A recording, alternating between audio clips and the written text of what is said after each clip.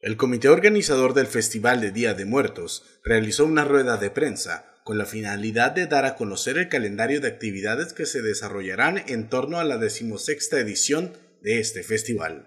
Sergio Martínez, coordinador de esta edición, mencionó que las actividades darán inicio el día 28 de octubre con una procesión por la Avenida Juárez, para así continuar durante nueve días llenos de actividades, mismas que culminarán en el Parque Miguel Hidalgo el día 5 de noviembre.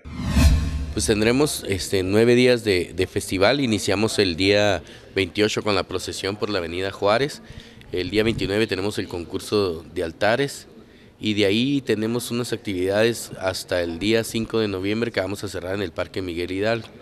Este, tenemos concurso de Catrinas, concurso de altares, concurso de fotografía y actividades por toda la, la comunidad, incluyendo la zona rural.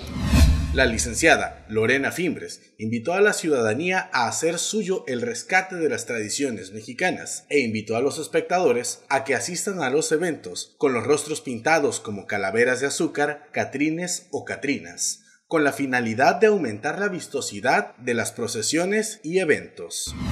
Es invitar a la ciudadanía no tanto a que sea un espectador más de, la procesión, de los eventos de cada día, sino eh, se trata también de un rescate de nuestras tradiciones y yo creo que lo hemos ido logrando y parte de eso pues también integrarnos nosotros a toda esta festividad caracterizándonos. Podemos ir de espectadores, pero caracterizándonos como catrines, catrinas, simplemente maquillándonos la cara, pero sería ya otro paso este, más a este rescate que año por año hemos ido eh, trabajando y, ver en todos los, los, eventos esa caracterización. Tecate se puede caracterizar también para participar en todos esos eventos.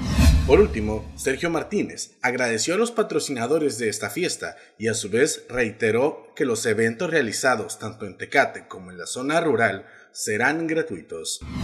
Pues invitar a toda la comunidad a que venga a todas las actividades. Pueden checar la página de Facebook, 14, el 16 Festival del Día de Muertos 2016. Todas son gratuitas, espero que lo disfruten y que nos ayuden llegando a, a las actividades para que podamos seguir haciendo este festival año con año.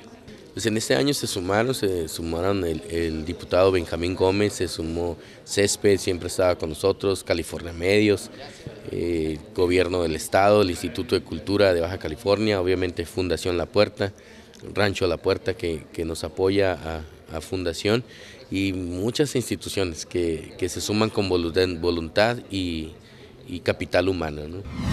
Para California Medios, con edición de Abril Cerratos, Javier Cruz.